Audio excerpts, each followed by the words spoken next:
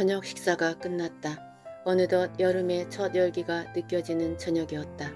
왕씨가 때이른 수박을 사와 차가운 우물물에 매달아 놓은 게 생각난 그레이스는 모두 식사를 마치고 젓가락을 그릇 위에 올려놓자 이렇게 말했다. 우리 마당으로 나가 수박을 먹는 게 어때요? 그러자 일제히 일어서서 연장자인 양부인이 앞서가도록 뒤로 물러선 다음 나의 순대로 차례차례 그 뒤를 따랐다. 그런 후 모두가 양부인이 가장 편안한 자리에 앉도록 권했다. 양부인은 그 자리를 마다하며 웃음 지었다. 자네들은 아직도 구식이구만. 요즘 같은 시대에 누가 어디 앉는들 무슨 상관이겠나. 남녀노소를 막론하고 모든 사람이 동등해졌거늘. 그러자 존이 말했다. 하지만 저희에겐 장모님은 상관이 있습니다. 동등함에 대해 말하자면 손가락조차 어디 길이가 같습니까? 제각기 자신의 위치가 따로 있는 법이죠. 여자들이 모두 자리를 잡고 앉자 남자들은 돌계단 위에 걸터 앉았다. 왕씨가 수박을 자르자 모두 한 조각씩 집어먹으며 까만 씨를 땅에 뱉었다. 행복한 분위기가 한껏 무르익었다.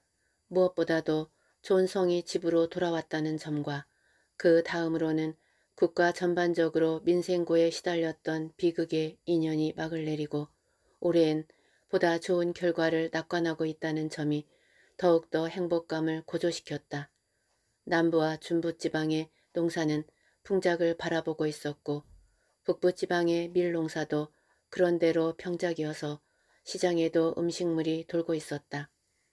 우리는 잘못된 길을 간 거예요.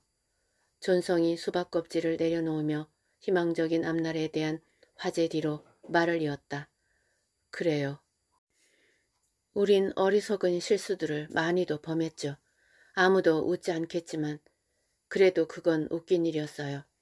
가령 선처를 만들라는 명령이 떨어지면 원시적인 제철소에서는 마을 뒷마당에 있는 당보가지를 재다 비틀기 시작했어요. 부채에 들어갈 만큼의 충분한 깃털을 잡아 뜯기 위해서였죠. 정말 웃을 수도 울 수도 없는 노릇이었어요. 리우펑은 어떤 비판도 용납하려 들지 않았다. 좋을 대로 말하시오. 하지만 혼란과 불안으로 점철된 백년의 세월을 보낸 후에 확실한 결론 하나는 얻었소. 남녀 모두 일하고 아이들은 학교에 다니며 하루에 두 끼만 간소하게 먹고 공평한 세금을 내며 더 이상 강도띠가 아닌 참 군인들이 이 땅에 존재하게 된 것이요. 우리의 삶은 지난 과거와는 비교할 수 없을 만큼 훨씬 나아졌소. 이때 양부인이 유연하게 끼어들었다. 예 성현께서 말씀하시길 두려운 건 가난이 아니라 부와 가난 사이의 적절한 균형이 결핍된 것이라 하셨지. 머시가 다소 신랄한 어투로 말을 받아쳤다. 그렇다면 전부 똑같이 지질이 궁상으로 살라는 말인가요? 그렇다면 대체 인민공사의 존재 가치는 뭐죠?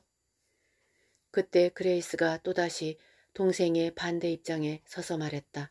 그건 리우펑의 편이라는 의미이기도 했다. 자기 땅이 없는 농부라도 자신에게 땅 한 평 없다는 것조차 의식 못할 수도 있어요.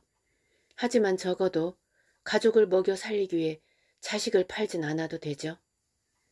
양부인은 적대적인 기류가 흐르는 것을 눈치챘지만 각자 목소리를 낼 수 있는 자유를 존중해 주었다. 오랫동안 미국에서 생활한 그녀의 딸들과 좋은 성이야 거리낌 없이 말할 자유에 길들여져 있다 쳐도 그렇지 않은 류펑 역시 당당히 자신의 의견을 밝히고 있었다.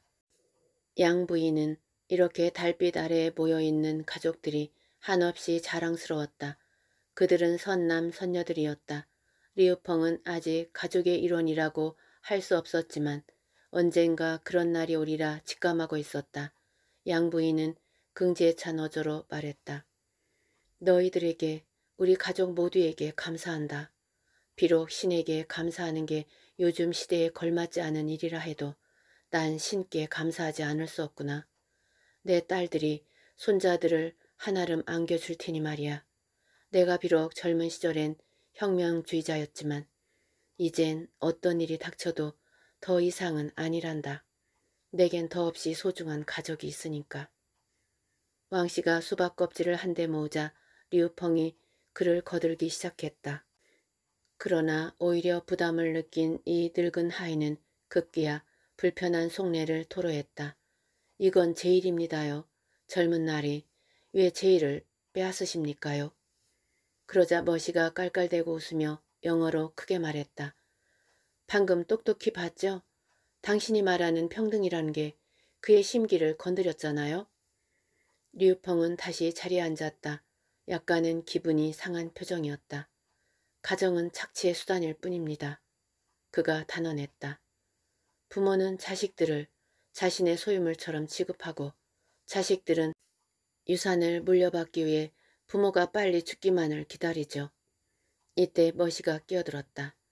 그래서 아이는 아버지를 감시하고 아들은 부모로부터 떼어내 멀리 보내지죠. 이번엔 리우펑이 머시마를 막았다. 젊은이들은 노인들의 키케 묵은 고정관념을 물려받지 않을 겁니다. 이어 그레이스도 리우펑의 입장에서 한마디 거들었다. 옛날에도 아들이 아버지를 버리고 다른 지역으로 이사를 가지 않았나요? 자식들은 팔려가고 소위 배운 자식들도 부모와 거리가 먼 곳으로 발령을 바꿔냈죠. 함께 모여 사는 가족들은 거의 없었어요. 하지만 누가 뭐라 해도 내 자식만큼은 항상 곁에 두고 살 거야. 머시가 여전히 반대 입장에 서서 말하자 그레이스는 동생을 바라보며 응수했다. 그런 생각을 하는 사람은 너 하나뿐일 거야. 거의 모든 엄마들이 자식들을 기꺼이 타가소에 의탁하고 있어. 어떤 여자가 자신들의 발목을 집에만 묶어두는 자식을 바라겠니? 현실적으로 말해서 나도 아니고 너도 아니야. 신세대와 구세대는 서로 떨어져 사는 걸 오히려 반기는 추세인걸? 바로 그때 은은한 달빛이 비추는 저녁의 평온함 속으로 막 잠에서 깬 아이의 자지러지는 울음소리가 흘러나왔다. 양부인은 다음날 아침엔 상해의 집으로 돌아가리라 마음먹었다. 비록 애롭긴 해도 그곳은 그녀가 마음의 고요와 평화를 유지하며 지낼 수 있는 유일한 곳이었다. 이튿날 존성은 아내 성화에 못 이겨 방을 구하러 나갔고 시내에서 가장 멀리 떨어진 신축 아파트에 방 3개짜리 집을 임대했다. 이사를 했다고 해서 존성의 가족에게 평화가 찾아온 건 아니었다. 첫 몇 주 동안은 모든 일들이 순조롭게 흘러가는 듯했고 세 식구 모두 더없이 행복했다. 조는 유전학 분야의 연구를 재개했고 과학연구소 한편에 개인 연구실까지 배정받았다. 머시는 아이와 집안 살림을 돌보느라 바빴다. 그러나 곧 그들은 이러한 평화로운 시간들조차 상부의 감시 아래 놓여 있다는 것을 깨닫게 되었다. 어느 날 아침 리 국장이 존의 연구실을 방문했다. 그는 자신의 신분증을 제시하면서 차오층이 보내온 편지를 전했다. 존성과 같은 과학자의 경우 추석 동지께서 핵물리학과 관련한 유전 과학을 연구하길 바란다는 내용이었다. 특히 원자핵 분열이 염색체를 포함한 인체에 미치는 영향에 대해 강조했다. 모 주석은 모든 과학적 연구는 즉각적이고 실용적인 목적과 연관되어야 한다는 사실을 공표한 바 있었다. 오늘날과 같이 서구의 제국주의에 맞서 자주 국방을 공고히 해야 하는 시급한 판국에는 순수 과학 연구에 투자할 돈과 시간이 부족하다는 것이었다. 존성은 묵묵히 편지를 읽어 내려갔다. 그는 그간의 유형생활과 고된 노동도 결국 상부의 돌처럼 굳어진 방식에는 아무 변화도 이끌어내지 못했음을 깨달았다. 상부의 명령에 굴복하거나 아니면 또 다른 처벌을 기다리는 수밖에 없었다. 그는 마음의 경계심을 다시금 고추세웠다. 리국장 동지, 여기 앉으십시오. 리국장은 자리에 앉아 입을 열었다. 성 동지와 같은 기중한 인재의 능력과 희망사항을 최대한 고려하는 것이 우리 상부의 바람이라 할 수 있어. 단, 그러한 능력과 희망사항이 인민의 복지와 혜택을 위한 정책과 반할 때는 불가피하게 제 조정이 있게 될 거요. 그렇다면 제 경우엔 어떤 제 조정이 있게 됩니까? 존성의 물음에 리 국장은 안쪽 호주머니에서 종이 쪽지를 한 장 꺼내 들었다. 동지는 신강성으로 전출될 거요. 모든 지시사항은 여기에 적혀 있어. 교통편은 제공될 것이고 도착하면 숙소도 배정받게 될 거요. 동지는 앞으로 3년간 그곳에서 핵과학 프로젝트를 지휘하는 로켓 공학 분야의 최고 전문가 밑에서 동료들과 함께 일하게 될 거요. 존성이 그의 말에 끼어들었다. 가족도 함께 갑니까?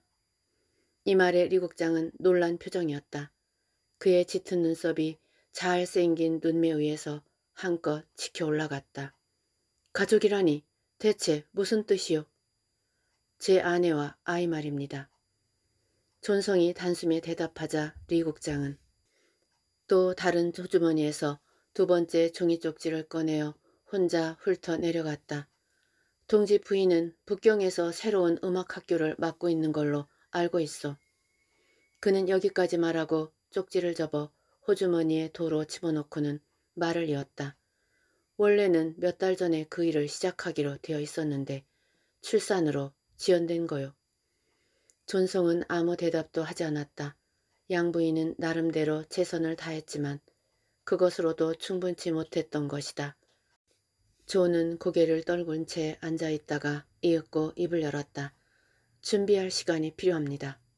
리국장은 자리에서 일어나며 말했다. 3일을 주겠소. 말을 마친 그는 가뿐히 뒤돌아서서 구두 뒷급 소리를 내며 성큼성큼 방에서 걸어나갔다. 이제야 뼈저리게 깨달았어. 우린 미국을 떠나는 게 아니었어. 머시의 울먹이는 소리가 존의 마음에 아프게 파고들었다. 머시가 그런 식으로 말을 꺼낸 건 이번이 처음이었다. 그녀는 열린 창가의 낮은 대나무 의자에 앉아 있었다. 엄마의 무릎 위에 앉아 있던 아이는 흐느끼는 소리에 엄마를 골똘히 올려다보더니 기롭게 일그러진 얼굴에 놀라 작은 입술을 삐죽거리기 시작했다. 존성은 아이를 번쩍 들어 자신의 품 안에 안고 영어로 말했다. 아이가 당신 때문에 겁을 먹었어. 그가 머시에게 손수건을 건네주자 머시는 그것으로 눈가를 훔쳤다. 다시 미국으로 돌아갈 방법은 없을까? 이 말에 조는 고개를 가로저었다. 잘 알면서 그래. 여기를 떠나는 건 불가능해. 도망치면 되잖아. 일단 홍콩으로 가면 이모가 도와줄 거야. 수백 명의 사람들이 지금 그러고 있어. 조는 아이를 다시 머시의 무릎에 내려놓고 책상으로 사용하는 테이블 옆에 의자에 앉았다. 내가 가지 않겠다면? 정말 당신을 이해할 수 없어. 머시는 화가 나 소리쳤다. 조는 앉아있던 의자를 돌려 아내를 바라보았다. 때마침 아이가 마루에 비친 햇살의 그림자를 잡으려고 버둥거리다가 엄마의 무릎에서 미끄러지고 있었다. 존과 머시는 거의 동시에 아이를 받아들며 웃음을 터뜨렸다. 가여운 아가 햇살을 손으로 잡을 수 없다는 걸 몰랐지? 자, 여기 이걸 갖고 놀아라. 머시는 테이블 위에 염주를 아이의 손에 쥐어주었다. 자, 아까 하던 이야기를 마저 해볼까? 존이 아이에게서 눈을 떼지 않으며 말했다. 우리가 귀국을 결심하게 된 결정적 요인이 뭐였는지 돌이켜보자고. 첫째로 그건 애국심이었어. 우린 조국이 우리를 필요로 한다고 믿었지. 그 전제 조건은 아직도 유효한 거지? 남편의 논리적인 사고력을 익히야 하는 멋이로선 대답을 회피했다. 그러자 조는 자문자답하듯 말을 이었다. 난 그렇다고 확신해. 사실 농부들과 함께 생활하면서 그 믿음은 더욱 강해졌어. 우리 국민들은 당신과 내가 상상하는 것 이상으로 우리를 필요로 하고 있어. 난 수많은 나날 동안 밤잠을 설쳐가며 조국의 미래에 대해 생각했어. 중국은 지금 한 시대의 끝을 향해 달려가고 있어. 이런 시기엔 을에 골 깊은 분열이 자리 잡게 마련이야. 노령의 주석께서 눈을 감는 순간 그 실체가 여실히 드러나겠지. 그때까지는 표면 아래 잠복해 있을 뿐이야. 그는 영어를 사용했지만 목소리를 잔뜩 낮춘 채 말했다. 무슨 분열을 말하는 거야? 머시 역시 존 못지않게 나직이 말했다. 이념주의자들과 전문가들 사이의 분열. 무슨 소린지 모르겠어. 옛 노선의 혁명주의자들, 다시 말해 열렬한 몽상가들 또는 이념주의자로 불리는 사람들은 실용주의를 표방하는 자들과 부딪히게 되지. 실용주의라 하면 현실주의자들, 그러니까 국가적 문제를 정의하고 해결하는 자들이야. 꿈꾸지 않는 사람들, 즉 전문가라고 불리는 부류들이지. 난 아직도 무슨 말인지 이해가 안 가. 조는 다소 둔감한 머시의 반응에 조급히 굴지 않았다. 아내가 임신과 출산 같은 개인적 일에 빠져 있는 동안 자신은 인민들의 고된 삶 속으로 내몰려 하루하루 수백만 인민을 먹여 살리는 일과 맞닥뜨리지 않았던가. 여보, 잘 생각해봐. 어느 국가든 국민들의 배고픔을 해결해 줄 수 있어야 해. 그렇지 않으면 국민들은 통치자에게 반기를 들게 되지. 그들에겐 먹는 일뿐만 아니라 신성한 노동을 하며 살아갈 생계의 수단이 필요해. 간단히 말하면 지금 처한 국가적 문제점은 단 한 단어로 표현할 수 있어 바로 생산이야. 생산은 다시 농업과 산업 두 가지로 나뉘지. 하지만 이론주의자들은 어떻게 생산 체계를 조직화하는지도 모르고 있어. 대약진 운동의 실패에서도 여실히 드러났잖아. 산업화를 위한 그 운동은 보기 좋게 실패했어. 인민공사는 또 어떻고 농업을 위한 그 조직도 실패로 돌아간 셈이야. 우리 국민들은 여전히 굶주림에서 벗어나지 못했어. 산업적으로 발전한 나라의 국민들과는 대조적이지. 올해는 풍작을 바라보고 있지만 이것도 가뭄과 홍수가 들지 않아서일 뿐 조직이 잘 구성되어서가 아니야. 요점만 말하면 이론주의자들의 정책은 실패했어. 전문가들은 곧 자신들의 시대가 열릴 걸 알고 있어. 시대가 그들을 필요로 한다는 사실 말이야. 그들 없이는 국가적 발전이 있을 수 없으니까. 나도 그 전문가 축에 속해 있어. 나의 시대를 기다리고 있는 거야. 이제 내가 왜 굳이 이 조국 땅에 남으려고 하는지 알겠지? 머시는 존의 설명에 마음이 움직였으나 여전히 찜찜한 감은 지울 수 없었다. 하지만 우리 아이를 생각하면 존은 머시의 말을 가로막았다. 그래, 우리 아들 얘기를 해볼까. 커서 어엿한 청년이 될 즈음엔 우리 실용주의자들은 좋은 기회를 맞이하게 될 거야. 그때가 되면 이념은 그다지 중요하게 취급되지 않겠지. 사람은 그가 무엇을 생각하고 꿈꾸느냐가 아니라 무엇을 할 수 있는지와 기술적으로 어떤 교육을 받았는지에 따라 평가되고 일이 주어질 거야. 나는 여기 조국 땅에서 현대적인 국가를 창출해내는데 한 몫을 담당하고 싶어. 우린 그걸 이루는 방법을 알고 있거든. 우리 아들은 당당히 자신의 삶을 즐기게 될 거야. 나처럼 우리 민족을 자랑스러워하면서 말이야. 나 같은 사람이 무엇을 심었는지 그 씨앗의 열매를 보게 되겠지. 조는 지난 몇 달간의 힘든 노역과 형편없는 음식, 거의 누더기 차림의 옷을 해상하며 잠시 말을 멈췄다. 그러나 진정으로 그의 머릿속에 남아있는 것은 그러한 것들이 아니었다. 바로 함께 일했던 농부들과 광부들이었다.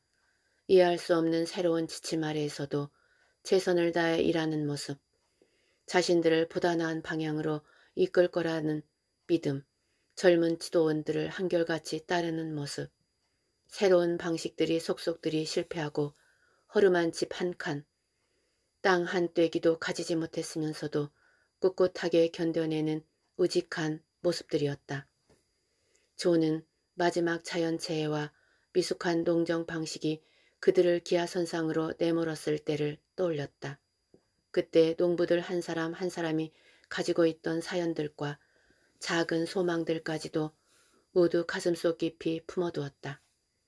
그들은 거칠거칠한 서로의 얼굴을 바라보며 우리는 예전에도 굶주려 봤으니까 라고 입버릇처럼 말하곤 했다. 그리고는 풀과 야생 열매를 찾아내 과거에 그래왔던 것처럼 간신히 목숨을 연명해 나갔다. 우리 국민들은 구원받을 가치가 있는 사람들이야. 난 그들 곁에 머물 거야.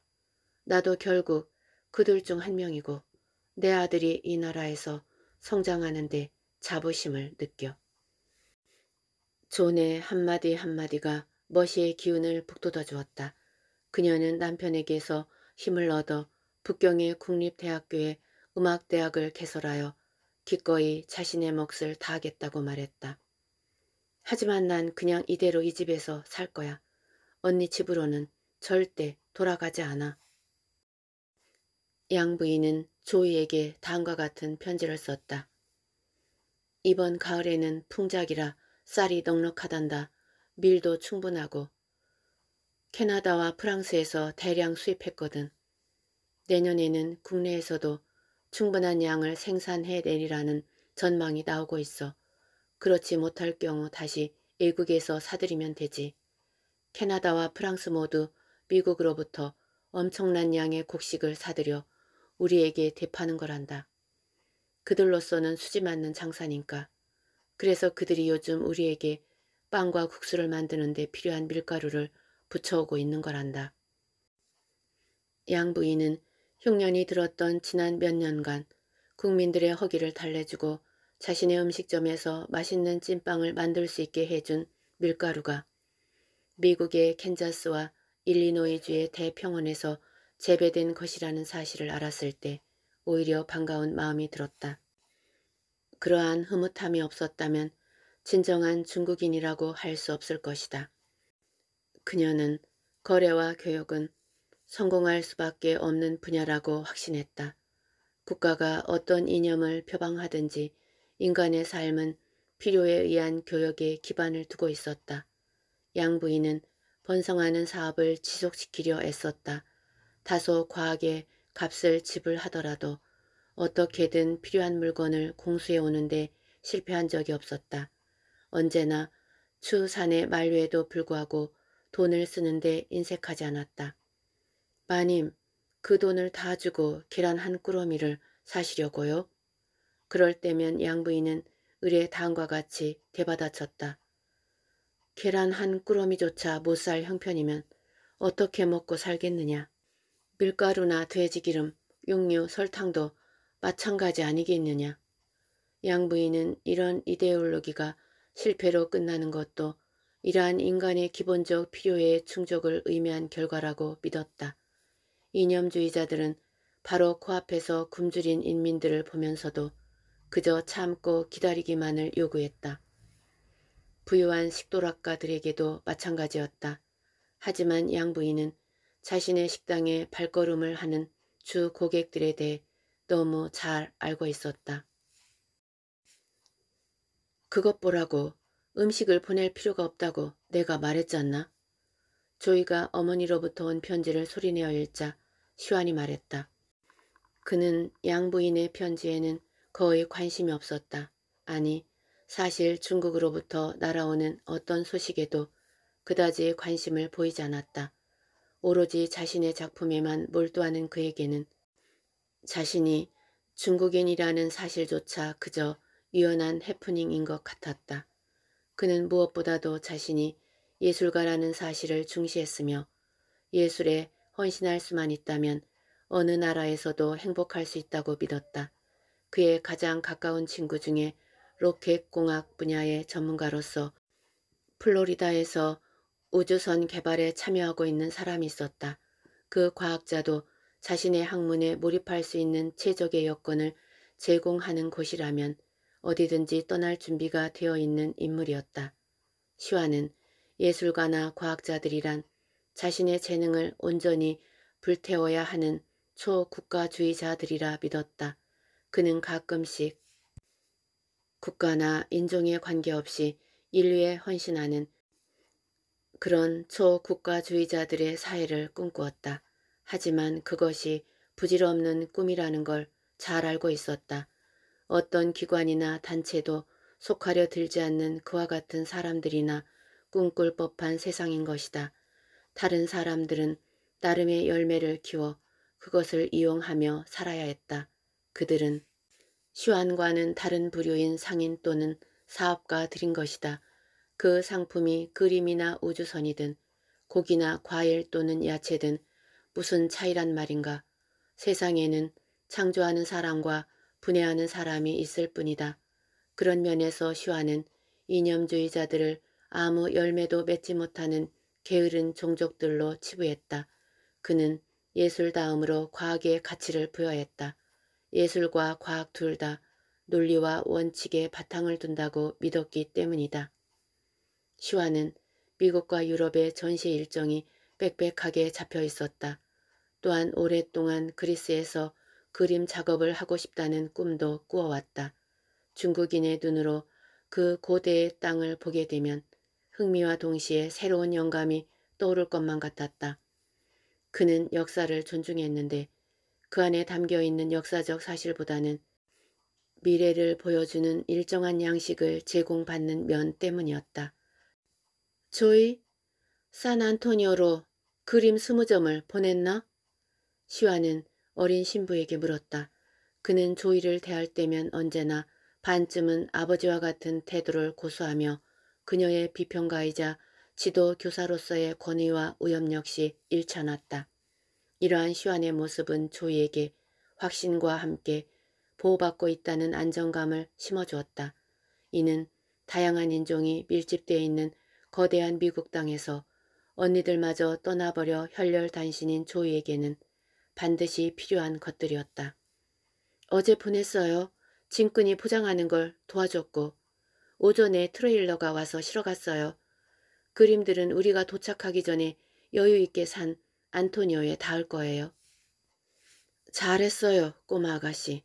자, 이제 슬슬 출출해지는데 점심으로 물국수 한 그릇 어떨까? 조이는 점심 식사를 준비하기 위해 자리를 떴고 슈아는 이젤 앞에 자리를 잡았다. 그는 지금 모든 사물을 지극히 작은 점의 군집으로 표현하는 기법을 사용해 캐나다 쪽에서 바라보는 나야가라 폭포의 장관을 그리고 있었다. 장대한 폭포수 아래로 거의 모든 게 뿌연 물안개 속에 가려진 상황에서 그는 가장 가는 붓으로 보일 듯 말 듯 나란히 손잡고 서 있는 두 사람을 그려넣기 시작했다. 그건 별 특징 없는 그저 연유 두 사람의 모습이었다. 이 부부가 신혼여행으로 떠났던 나야가라 폭포. 그 아래 두 사람이 나란히 손잡고 서 있었던 시간을 떠올리지 않는다면 말이다. 정식으로 결혼식을 올리기 전에 몇 달간 동지로서 함께 살아보는 게 어떨까 하오? 리우펑의 돌연한 제안에 그레이스는 그와 끼고 있던 팔짱을 풀었다. 그게 꼭 필요한 과정일까요? 그레이스는 짐짓 가볍게 물었다. 혹시 자신이 그에게 인습주의자나 부르조아로 인식되거나 그가 싫어하는 부류의 사람처럼 보이는 게 싫어서였다. 부모 세대 다음에 젊은 세대에 속하는 그녀로선 자신의 이런 부분이 스스로도 내심 충격적이었다. 과거 소련 혁명으로부터 자극받은 젊은이들조차 한때 허세에 들떠 자유연애론을 부르짖기도 했다. 하지만 어머니는 결혼 후 아버지가 첩을 들이기 시작했을 때 극도의 혐오감을 알았다. 자유연애란 남자들이 제멋대로 바람을 피우려는 속생과 별반 다르지 않는 것 같구나. 어느 날 어머니는 이렇게 말했었다.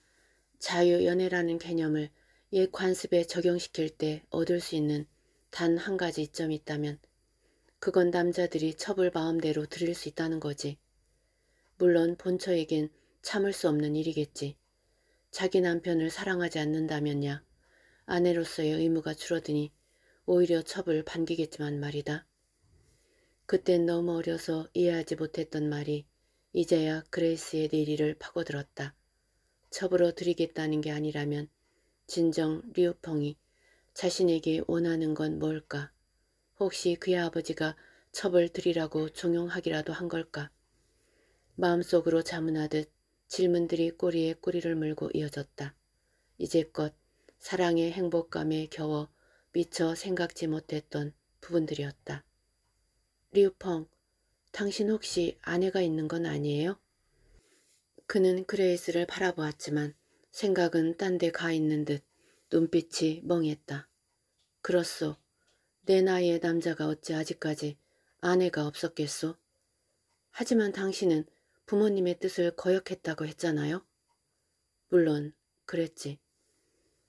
거역했다면서 아내가 있다니 그게 말이 되는 소리예요? 그 여자가 있는 곳에는 한 번도 간 적이 없기 때문이요. 그렇다면 얼굴도 본 적이 없단 말이에요? 한 번도 없었어. 어릴 적 부모님께서 정혼을 시켜 대리인을 내세워 결혼식을 올렸지. 부모님은 결혼식을 올리기만 하면 내 뜻을 꺾을 수 있을 거라 확신하셨지만 난 단 한 번도 그 여자에게 간 적이 없었소. 결국 내가 부모님 뜻을 꺾은 것이요. 부모님께서는 내 결혼의 첫 번째 목적이었던 손자를 보지 못하셨으니까. 그는 얼굴색 하나 변하지 않고 무심히 말했다. 둘은 9월의 늦은 오후 그레이스의 집 마당에 앉아 있었다. 중추절 연휴 기간이었지만 사람들이 모여드는 축제 행사에 가세하는 대신 둘 다 오전 내내 병원에서 일했다. 그레이스는 자신의 실험실에서 여러 약초에서 배당체로 발견되는 에모딘을 추출하는 작업을 했고 리우펑도 자신의 연구실에서 전날 환자의 겨드랑이에서 떼어난 종양 조직을 분석했다.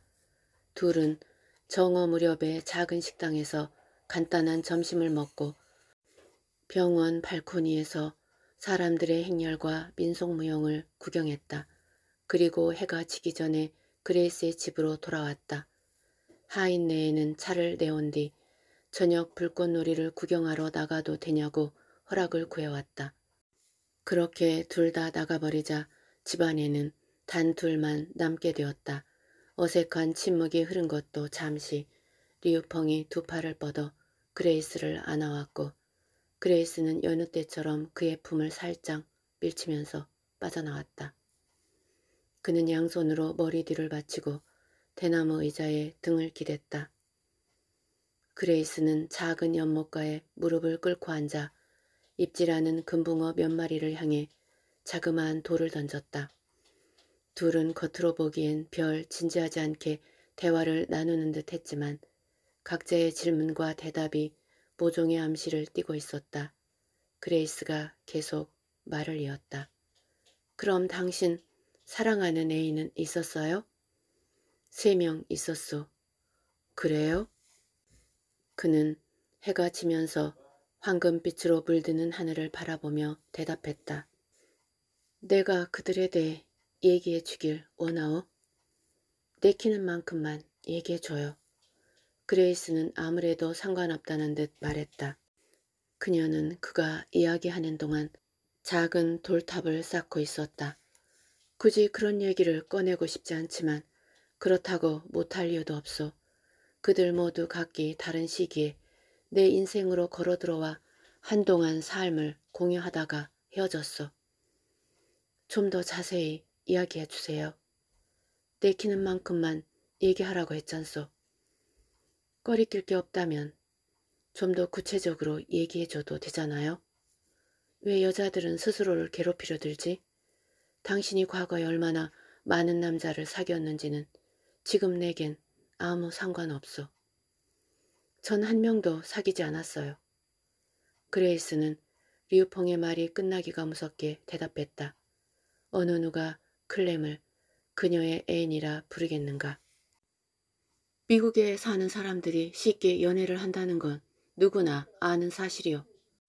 그가 딱 잘라 말하자 그레이스 역시 물러서지 않았다. 그건 사실이 아니에요.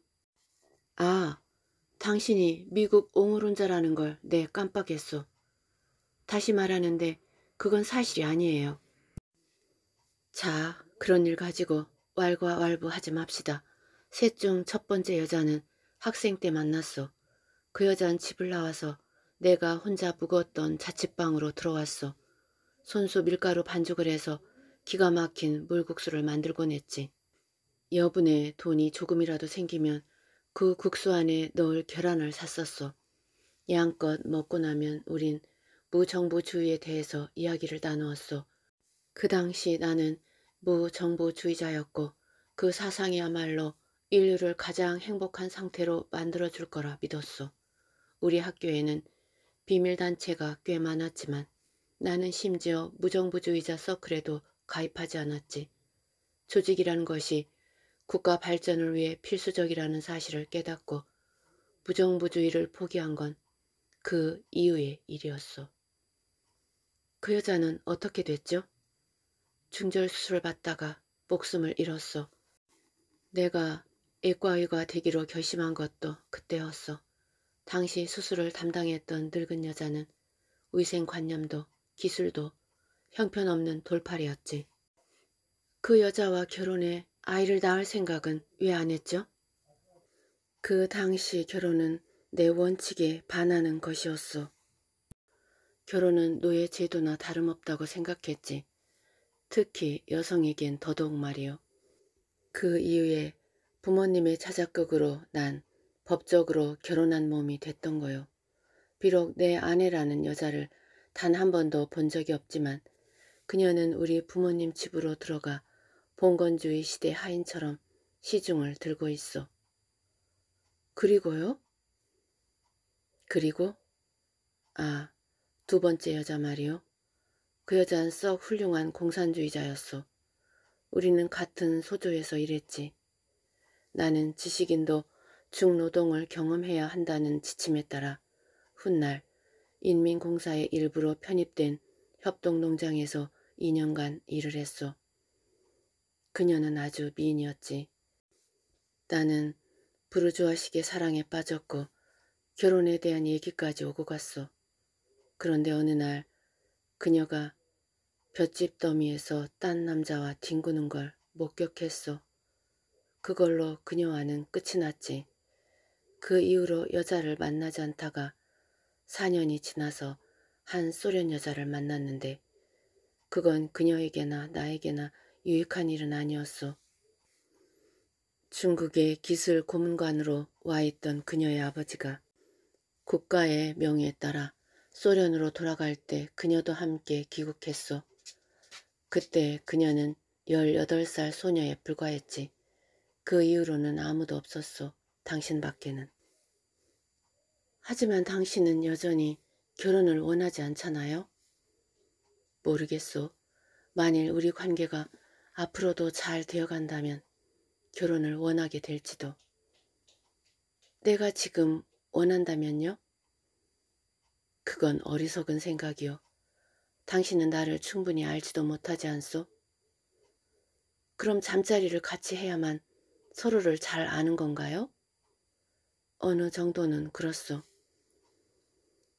단지 잠자리뿐이라면 모르는 타인들끼리도 하룻밤을 보내고 헤어진다고요. 그런 뜻이 아니요. 난 신중하고 싶은 거요. 그레이스는 잠시 침묵을 지킨 후 가까스로 입을 열었다. 당신 기억나죠? 우리가 첫 입맞춤을 나누던 날 당신이 처음이라고 했던 거. 그러자 리우펑이 소리내어 웃었다. 그렇소.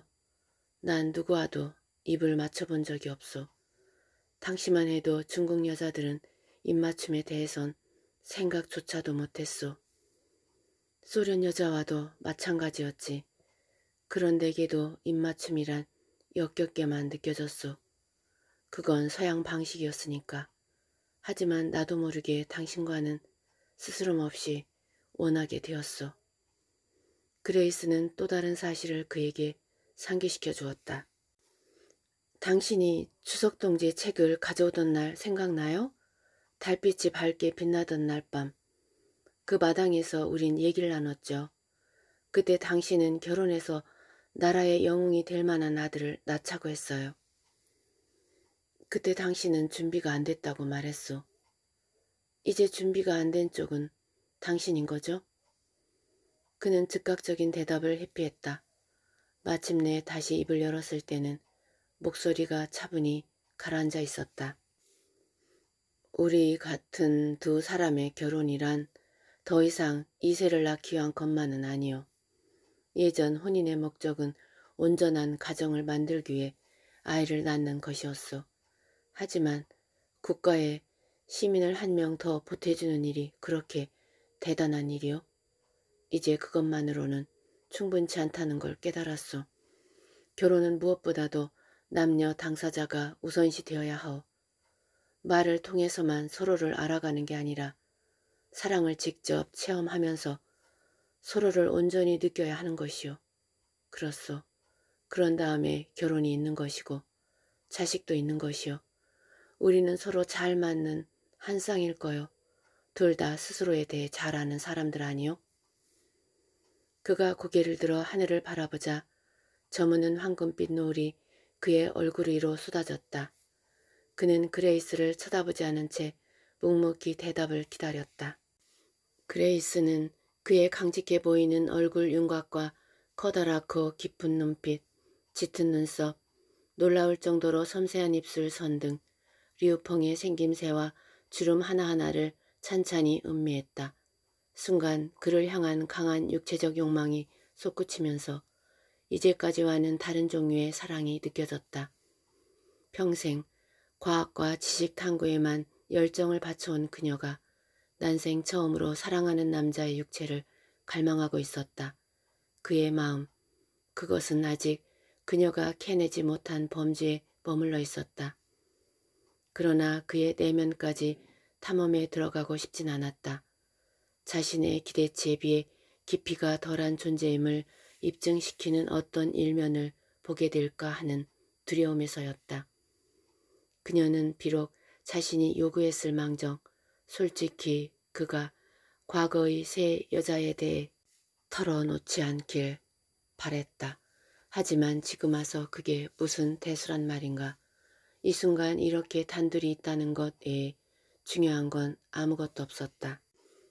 그녀의 눈앞에 펼쳐진 그의 강건한 육체에 한껏 빠져들었다. 핏속의 열기가 걷잡을 수 없을 정도로 치솟는 듯했다. 그것은 이제까지 그녀의 냉정한 두뇌가 완고하게 통제해왔던 영역이었다. 리우펑은 다소 놀란 듯 그레이스를 바라보았다. 그레이스는 리우펑이 그녀의 내면에서 무슨 일이 일어나고 있는지 훤히 꿰뚫고 있다는 것을 알아차렸다. 그는 아무 말 없이 앉아있던 의자에서 일어나 마당을 가로질러 천천히 대문을 향해 걸어갔다. 대문은 하인대회가 밖으로 나간 후 잠그지 않은 채로 열려 있었다. 그는 새로 된 빗장을 지르고 고리를 잠갔다. 자, 이제 우리 둘뿐이요. 그는 왼손으로 그레이스의 오른손을 꽉 쥐고 말없이 안채로 걸어 들어가 그녀의 침실로 향했다. 그리고 그레이스가 일전에 구입한 멋진 조각 장식과 커튼이 달린 중국 전통식 침대로 다가갔다. 그가 은고리를 당겨 커튼이 사방으로 늘어지게 만들자 일제히 아래로 드리워진 커튼이 천막처럼 침대를 둘러쌌다. 그는 침묵 속에서 그레이스의 옷을 하나하나씩 벗기기 시작했고 그레이스는 모든 것을 그의 손길에 내맡겼다. 상상치 못했던 순간에 오히려 아무 수치심도 느끼지 않는 자신이 놀라울 뿐이었다. 그녀가 알몸이 되어 서 있는 동안 그도 옷을 모두 벗었다. 그런 후에 침대에 들어워진 커튼을 젖혀 그녀가 먼저 들어가게 해준 다음 자신도 뒤따라 들어가 다시 커튼을 내렸다. 둘은 잠시 침대 위에 나란히 누워 있었다. 이윽고 리우펑이 그녀 쪽으로 몸을 돌리자 그레이스는 그를 받아들였다. 이제껏 어떤 남자에게도 허락하지 않았던 것을 그에게 허락했다. 예전엔 마치 잘못으로만 인식했던 것이 이 순간 더없이 자연스레 받아들여지고 있었다. 그레이스는 현재 자신의 모습에 망연자실할 만큼 커다란 경의를 느꼈다. 머시는 음악대학의 강의실에서 낡은 피아노를 두드리는 여학생 옆에 앉아 서투른 연주에 귀를 기울이고 있었다. 비록 생각은 딴 데가 있었지만 단번에 그녀의 예민한 청각은 잘못 누른 음표들을 정확히 짚어내고 있었다. 요즘 그녀의 생활은 산만하게 흩어진 조각들처럼 도무지 통일성이라곤 찾아볼 수 없었다. 최소한 세 명의 인간으로 쪼개져 살고 있는 듯했다. 그녀는 아내와 엄마와 교사, 이 셋 모두가 그녀의 진정한 자아이자 스스로에게 주요한 존재라는 사실을 모르고 있었다. 존이 머나먼 신강성의 오지로 떠난 지도 몇 달이 흘렀다. 가끔 받는 몇 줄 안 되는 편지도 몹시 건조하기 짝이 없었다. 그녀는 남편이 대화할 때와는 달리 편지에서는 다양한 표현을 구사하지 않았다는 것을 알고 있었으므로 어투가 다소 차갑게 느껴지더라도 그냥 눈 감아 주기로 했다. 더구나 그가 하고 있는 일의 목적과 내용이 아내에게조차 함부로 말할 수 없는 사안이라는 것을 잘 알고 있었다. 그러나 남편이 현재 몸담고 있는 프로젝트가 절대 핵무기 지조만은 아닐 거라고 확신했다. 적들이 공격해올 경우 방사능이나 독성 물질에 대비한 방어용 화학무기쯤 될 거라고만 짐작했다. 그녀가 무엇보다 통탄해하는 것은 학생들의 마음이 미국은 적이라는 인식으로 물들어 간다는 점이었다. 또한 그녀 자신이나 아들의 안전을 위해서라도 자신의 생각을 감히 입 밖에 낼 수 없다는 점도 큰 심적 압박이었다. 학생들의 입에서 미국인에 대해 증오 어린 말들이 쏟아져 나올 때마다 그녀는 거듭 이렇게 소리치고 싶은 충동을 느꼈다. 적어도 내가 너희들보다는 미국에 대해서 더 많이 알고 있어. 미국인들은 너희들이 생각하는 그런 나쁜 사람들이 아니야. 머시는 조심스럽게 침묵을 지켰지만 이 침묵 또한 부담감만 가중시켰다. 돌아올 기약 없는 남편에 대한 그리움도 더더욱 아득한 절망만 안겨주었다. 밤엔 때때로 자기도 모르게 흐느끼는 소리에 놀라 잠이 깨기도 했다. 그럴 때면 영영 남편을 볼 수 없을 것 같은 불길한 예감이 들었다. 머시는 자신의 편지가 검열될 것을 염려하여 아이에 관한 걱정거리도 적을 수 없었다. 이곳에서는 아이가 세 살이 되면 의무적으로 다른 아이들처럼 타가소에 맡겨야 했다. 하지만 그곳에서 대체 무엇을 배우겠는가? 머시 본인도 믿기 어려운 이야기들 뿐 아닌가? 머시는 집에서 아이와 단둘이 있을 때조차 미국인들은 우리의 적이 아니라 단지 사교적이고 친절하며 자유로운 사람들이라는 말을 꺼낼 수 없었다. 진실이라 해도 입에 담을 수 없는 말이었다. 진실을 말하는 순간 그 가르침을 받은 아이는 미국의 우호적인 자신의 어머니를 결국은 변절자로 생각하게 될 것이다. 반면 엄마가 애국자라면 당연히 누구를 중호해야 할지가 아이에게 주입될 게 뻔했다. 이러한 혼란 속에서 머시는 무엇을 해야 할지 막막했고 그렇게 아무것도 하지 못하는 가운데 점점 더 애로운 영혼이 되어갔다.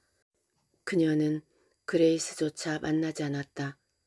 들리는 바에 의하면 언니와 리우펑은 완전한 연인 사이가 되었다고 했다. 또한 어머니도 전적으로 믿을 수는 없었다. 모든 상황을 미루어 짐작하건대 어머니라고 해서 자신을 배반하지 않으리라는 법도 없었다.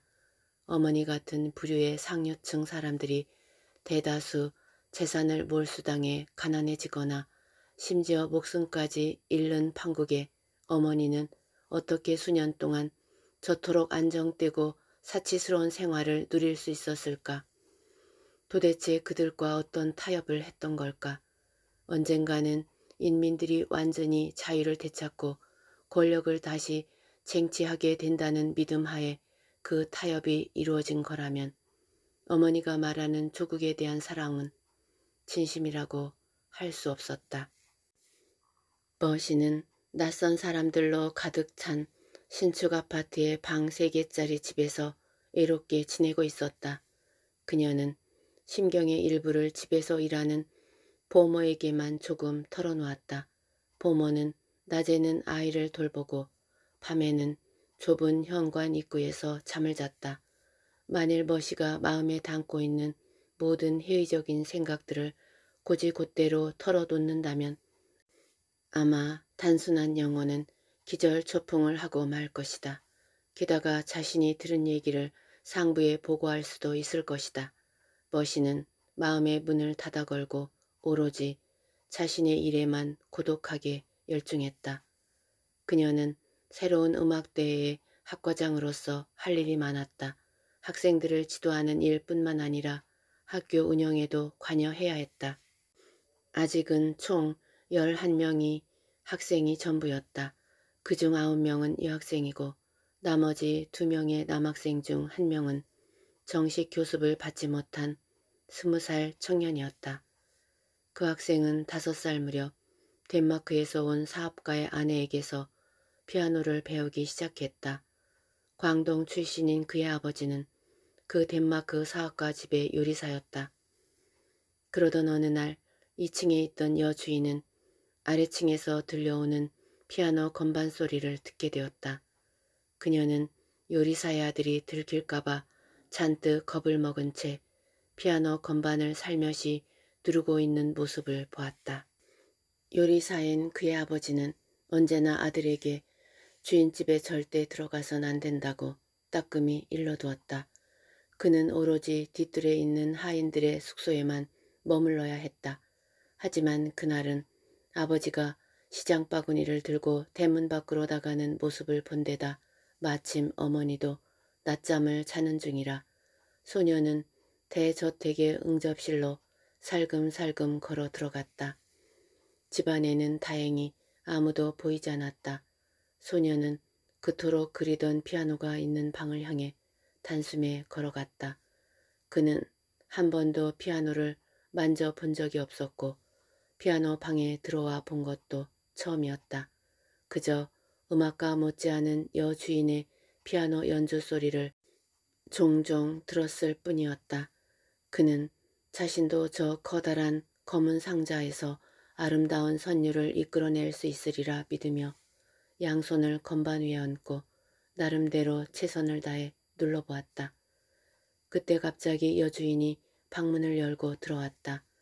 기겁을 한 소녀는 열린 창문으로 주랭랑을 치려고 했지만 여주인의 손에 붙들리고 말았다. 그는 여주인의 얼굴을 그토록 가까이서 본 적이 없었다. 파란 유리 같은 신비한 눈을 가졌으며 백발로 상상했던 머리카락은 황금빛이었고 백옥같이 흰 피부에 홍조를 띤 젊은 여인이었다. 그녀는 소년의 팔에 손을 갖다 댄 채 말했다. 얘야 여기 그냥 있어라. 겁낼 필요는 없단다. 내가 피아노 치는 법을 가르쳐 주마. 그녀는 서툰 중국어로 말했지만 무슨 말인지 알아들은 소녀는 피아노 뒤쪽에서 주춤댔다. 그러자 그녀는 친절하고 부드러운 음성으로 첫 피아노 교습을 시작했고 이후로도 정성을 다해 수차례 기꺼이 피아노 교습을 해주었다.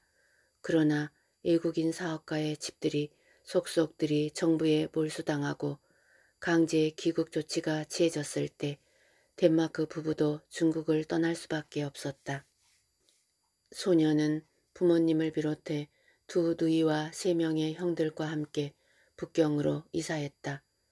거기서 아버지는 새로 지은 호텔 식당의 주방장으로 들어갔고 소녀는 여러 선생님을 전전하며 계속 피아노를 배웠다. 그러던 중 국립대학교 안에 음악대학이 신설된 것이다. 그는 머시를 성부인이라 부르며 그녀의 가르침을 충실히 따랐다.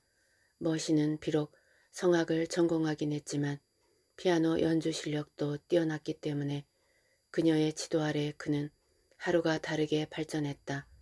이제까지는 머릿속에 떠오르는 음악을 즉흥적으로 연주하는 데 그쳤지만 그것을 악보로 만드는 방법도 알게 되었다. 그는 머시를 훌륭한 선생님이자 좋은 친구라고 생각했다. 또한 머시는 그에게 있어 누구보다도 아름다운 여인이었다. 때때로 그는 머시를 예상치 못한 위험으로부터 보호하거나 심지어는 목숨까지 구해주는 자신의 모습을 몽상하기도 했다. 이런 그의 마음을 전혀 눈치채지 못한 머시는 그저 이 제자가 언젠가 훌륭한 음악가가 되리라고만 생각할 뿐이었다.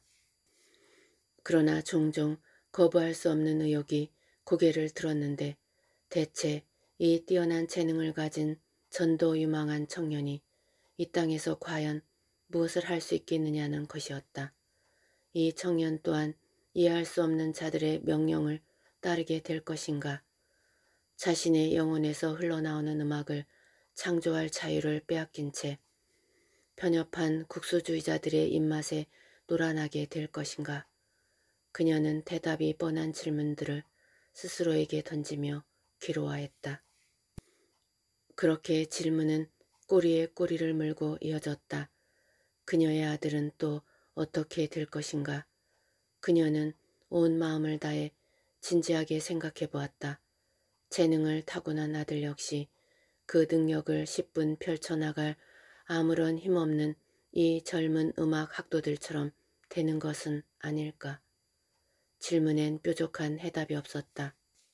마침내 머시는 아들을 조국에서 태어나도록 만든 것이 자기인 이상 어떻게든 아들이 이곳에서 부당한 일을 당하는 불상사만은 막아야겠다는 결론에 도달했다. 머시와 남편은 음악과 과학에 종사하는 지식인이었다. 따라서 그들의 아들도 스스로의 의지대로 창조하고 명령하는 사람들 사이에서 태어나는 것이 옳았다. 이제 아들은 누구에 의해 무엇을 세뇌 당할 것인가? 그녀가 믿는 바를 가르칠 것인가? 아니면 도저히 믿을 수 없는 것들을 가르칠 것인가? 자신의 아들도 다른 아이들처럼 미국을 중어하도록 배우게 될 것인가? 머시의 가슴 속은 브랜든 가족에 대한 사랑과 해안으로 가득 차올랐다. 그날 그 저택에서 세 자매는 누구도 두려워할 필요 없이 얼마나 자유롭고 행복한 휴가를 누렸던가. 그러나 정작 조국인 이 땅에서는 뚜렷한 이유도 모를 두려움이 노상 따라다녔다. 어딜 가나 누가 실종됐다더라, 누가 돌연사 했다더라 하는 수군거림과 소문만이 무성한 가운데 두려움이 녹아든 경직된 분위기만이 팽팽하게 감돌았다.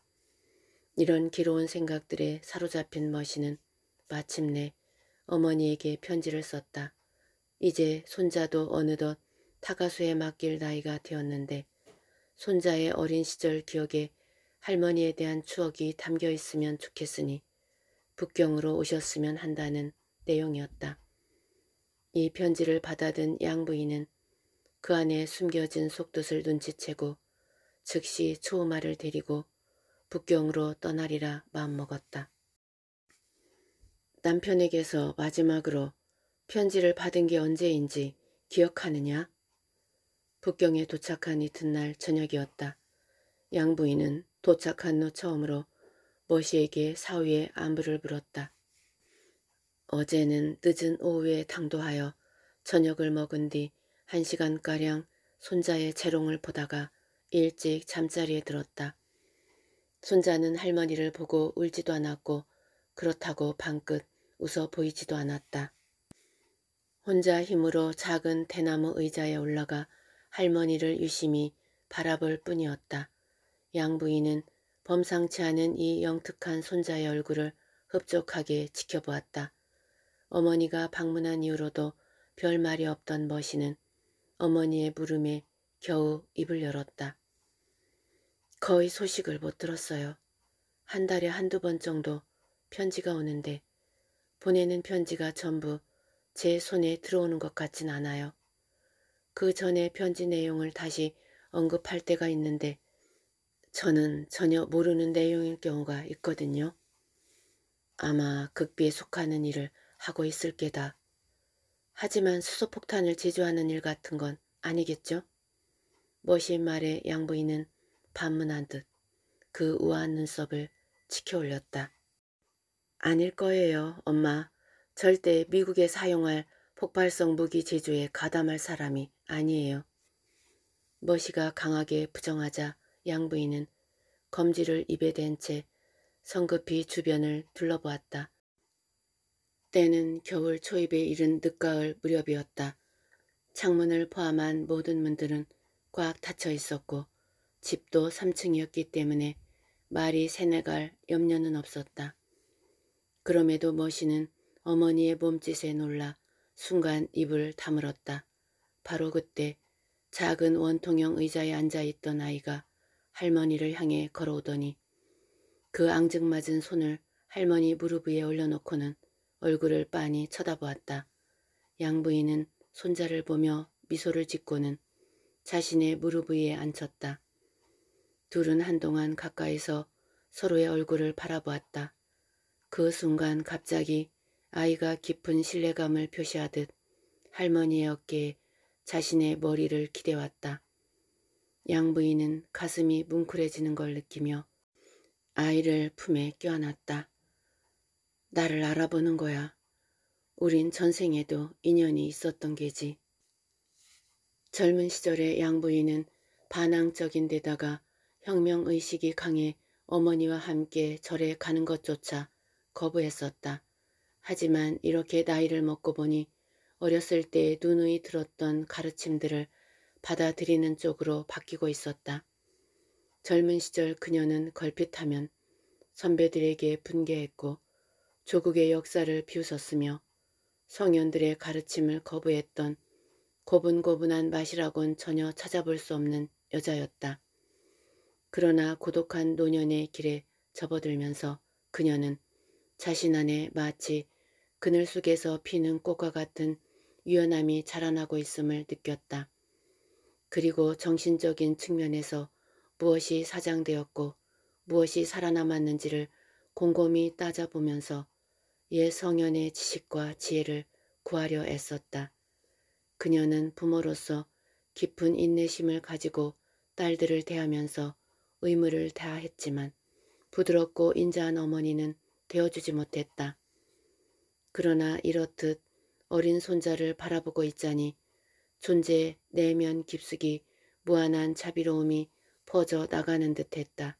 지금 이 순간 아들을 낳지 못했던 양부인은 손자에게 세 딸을 키울 때보다 더한 밀착감을 느끼고 있었다. 젊은 시절 여자도 남자와 똑같이 귀한 존재며 딸이 태어나도 아들의 탄생 못지않게 축복해줘야 한다는 믿음을 진심으로 고수했던 양 부인이었다. 하지만 뿌리 깊은 옛 관습이 남몰래 그녀의 마음속에 잠복해 있었던 듯했다.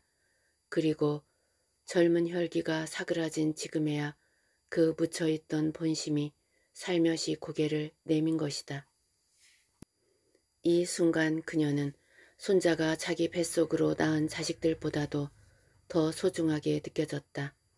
미래가 불투명한 이곳에서 자식을 낳은 딸아이가 얼마나 내면의 갈등을 겪고 있을지 가히 짐작하고도 남았다. 엄마, 뭘 생각하고 계세요? 이 아이의 미래를 생각했단다. 나는 조국과 민족의 장래에 대해 아무런 의심도 두려움도 없단다. 모두 잘 될 거라 확신하고 있어. 지난 수천 년의 역사를 봐도 알 수 있는 일이잖니? 현재에도 우리 민족은 새 시대와 구시대의 장점들을 조화롭게 살려내고 있으니 언젠가는 좋은 날을 맞이하게 될 거다. 하지만 문제는 이 어린아이의 인생이 그 과도기 어디쯤에 펼쳐져 있나 하는 것이지. 장대하고 유구한 우리 역사 속에서 백년은 마치 하루처럼 짧은 시간이겠지만 그 백년은 이 아이의 평생보다도 긴 시간 아니겠니? 그렇다면 우리가 과거의 지혜를 찾아 헤매는 동안 이 아이는 과연 어떤 진통을 겪게 될까? 앞으로 수십 년간 피와 투쟁의 역사가 펼쳐질 경우 과연 이 아이가 살아남을 수 있을까?